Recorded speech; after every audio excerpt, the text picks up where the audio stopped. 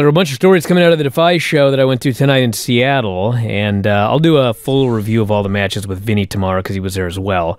But uh, the big stories uh, the Bollywood Boys returned, uh, their visas got handled, so they're back in Defy. They won the tag team titles.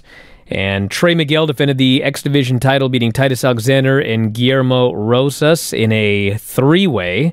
Which Trey Miguel's a, really good. It's turned into a really good match. the The first spot they did was was super choreographed, and then it was like all uphill from there. So it was really good.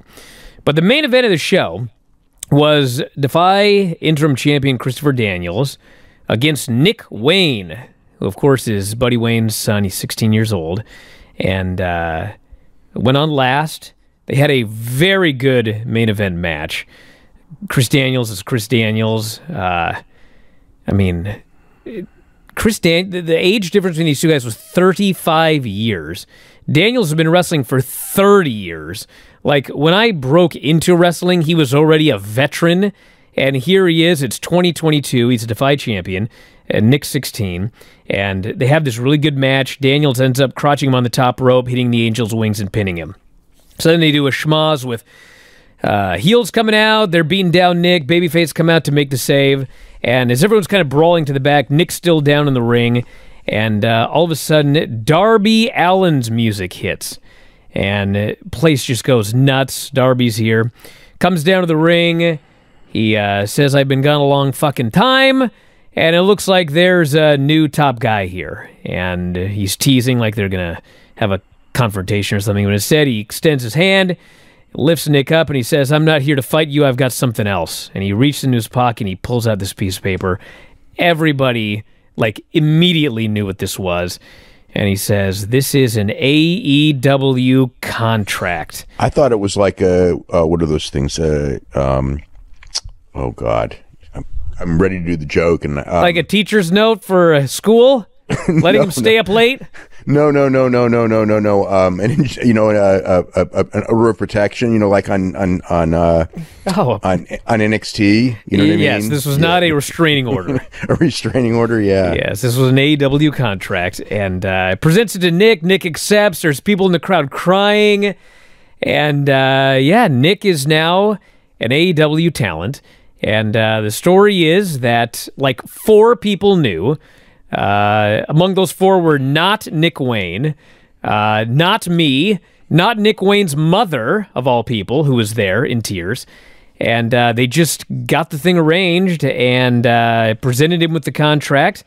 And they went backstage and, and he signed it. And I'm not sure the exact uh, they may call it like an apprenticeship contract. I'm not sure exactly what it's called, but um, they, essentially, they, what it is is he's under contract and he has to finish high school. He has to turn 18. And uh, once that happens, he'll become a full fledged uh, contracted AEW talent. But he's he's an AEW wrestler as of right now. And uh, it was an awesome moment. Like everybody in the back was just you know. So, so is, is he going to be working there, or is he just going to be um, working independence until he's eighteen? I presume he's going to continue to do whatever he's doing, but I actually don't know. I don't know if they're going to bring him in for Dark and Elevation. I don't know what they're going to do. Uh, but he's obviously going to continue to work. And in fact, actually, when the when the thing was over, then they hit the music and uh, Swerve came out.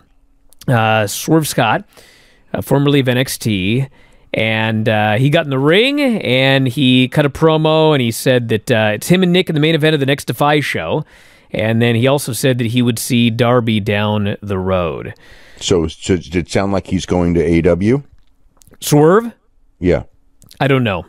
I think he was talking about potentially in Defy, mm-hmm. uh, but uh, it could have been a reference to uh, to AEW. But I haven't heard anything about AEW. But for sure, I know that Swerve is going to be working Defy. Uh, Joey Janela did an interview and pretty much said that he's going to be a Defy regular, so he's going to be doing all the shows. I don't know what the situation is with, with him and AEW, but uh, he's going to be doing uh, all of the Defy shows going forward, uh, to the best of my knowledge. Bollywood Boys obviously are going to be doing the shows because they won the tag team titles. Uh, apparently, they just got their visas, so now they can. Uh, you know, you know. The, did you know the story about their visas? I know they've been trying to get them for months. Okay, so, months so, and months. So he, so here's the okay. I, I okay. So one of them. So they both for they both filled out their. This is this is a crazy story. They both filled out their visas. Their experience is essentially the same, right? You know, they both done the exact same thing. They've been in the exact they're, same. They're places. tag team. Yeah, yeah. So one of them got approved and one of them didn't. And like, there's no, I, I, there's no explanation as to why, because I had to actually help with the one who didn't get approved, you know, and write a recommendation letter and everything like that. Um, but it was only for one of them because the other one had gotten approved and like nobody can understand, like, how can you like see these two forms that are identical? You know, like the exact same experiences, the exact same, you know, used to be in WWE for these many years, used to be here, you know, um, the same recommendation letters for both of them. And one of them got turned down and the other one didn't. It's I mean, just, I just presume that it goes to like an office and then every single one goes to one of 50 different people and what the same person didn't get both. I don't know, but it's bizarre. But yeah. they both got their visas now, so they're good to go. Yeah, yeah, yeah. So, but they, yeah, the other one did too. So, um, but um, yeah, I, I had kind of heard that they were, you know, that they got them because um, the one who I helped out was uh, thanked me. So, um, but yeah, it's, um, yeah. I mean, like, how do you, how do you turn down working visas for, you know what I mean? It's a like team, yes.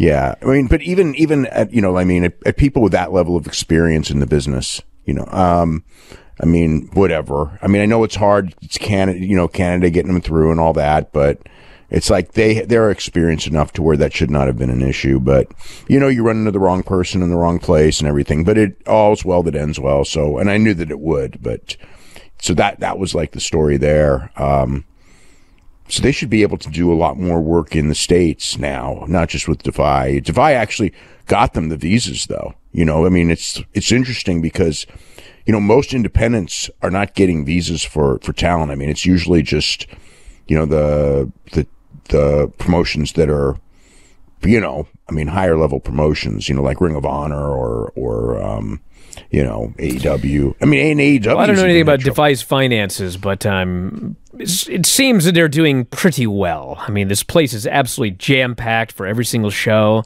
I mean, I love going to these shows because you know, we get. Uh, I mean, the last show that I went to in the building was was New Japan, but I mean, they they've got guys from Strong that do the shows. They've got guys from AEW that do the shows. They got guys from all over the independents. They got guys from Impact doing the shows. Ring of Honor. Jonathan Gresham was on the show tonight. let me tell you oh, something. Who, who, who, do you work with? Cody Chhun. Okay. And, How did uh, that go? Cody Chhun. The last Cody Chhun match I saw was against Hikuleo, and it was like maybe the best Hikuleo match I ever saw which is not you know super high praise, but I thought that it was like a really really fun match. And uh, then Cody Chhun comes in here and he faces Jonathan Gresham, and you know I, I thought this match was like absolutely fantastic. It was nothing, nothing but wrestling for like 22 straight minutes. There was like one high spot, but I mean the rest of it was just chain wrestling and you know, Gresham did this spot early where he went to break, but accident kind of poked his, I think he like poked his chin or something like that, and he acted like it was an accident. And then there was another one the second time where he had him in an Indian death lock, and Cody Chhun gets the ropes, and the referee is telling Gresham to break, but Gresham's claiming, well, I can't undo my own legs. So, you know, Cody Chhun's in the ropes for like 30 seconds, and Cody's pissed, and Gresham's like, I was an accident.